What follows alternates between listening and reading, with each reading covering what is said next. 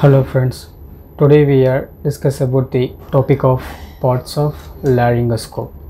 So this one is a handle and this one is a base and this one is a lock and this one is a tape.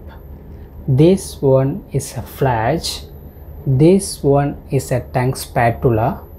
This one is a light and this one is a web okay so இந்த laryngoscope வந்து எப்படி proper ஃபங்க்ஷனிங்கில் இருக்குன்னு சொல்லிட்டு identify பண்ணணும்னா so இந்த பிளேடை நம்ம வந்து ப்ராப்பராக இதில் ஃபிட் பண்ணும்போது ஸோ நமக்கு இதில் வந்து லைட் வந்து விசிபிள் ஆகும்.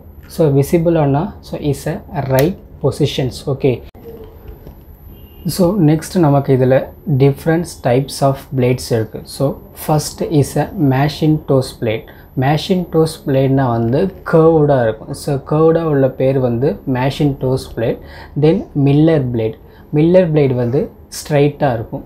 ஸோ இதில் நமக்கு வந்து ஃபோர் சைஸஸ் இருக்கும். So one two three four so நமக்கு ஏதாவது ஃபார் எக்ஸாம்பிள் இப்போ நமக்கு ஏதாவது டவுட் இருக்குது எந்த பிளேட் தெரியல எந்த சைஸுன்னு தெரியலன்னா ஸோ நம்ம இந்த பிளேடை இப்படி டேர்ன் பண்ணி பார்க்கும்போது ஸோ நமக்கு இதில் வந்து சைஸ் கொடுத்துருப்பாங்க. ஸோ த்ரீயா ஃபோரா டூவா ஒன் பட் இந்த டிஃப்ரெண்ட் சைஸ் ஆஃப் பிளேட்ஸ் வந்து it's depending on the patients conditions okay for example இப்போ ஒரு இன்ஃபென்ட் இருக்காங்க. ஸோ இப்போ இன்ஃபென்ட்டுக்கு நம்ம வந்து ஒன் சைஸை நம்ம வந்து என்ன பண்ணலாம்? இன்செர்ட் பண்ணிவிட்டு அவங்களுக்கு வந்து எண்டோட்ரக்கியல் டியூப் போடலாம். ஸோ அடல்ட்டுக்கு நம்ம வந்து த்ரீ இல்லைனா ஃபோர் பிளேடு வந்து நம்ம வந்து யூஸ் பண்ணலாம். ஸோ தேங்க்யூ ஃபார் வாட்சிங் ஸோ இந்த வீடியோ பிடிச்சிருந்தால் லைக் பண்ணுங்கள் ஷேர் பண்ணுங்கள் அண்டு சப்ஸ்கிரைப் பண்ணுங்கள்